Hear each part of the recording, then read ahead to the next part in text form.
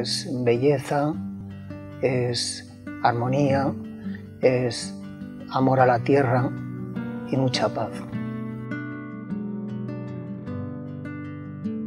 Recuerda un poco a los navegantes de hace siglos que posiblemente no iban a más velocidad que la que vamos nosotros.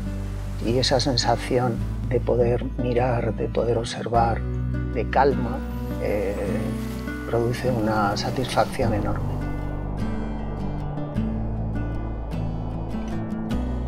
Es una maravilla, es decir, poder viajar en un camarote, tener una litera y sobre todo tener espacios donde poder mirar, poder salir, eh, poder tomar un café, poder leer, pues colma absolutamente eh, mis necesidades.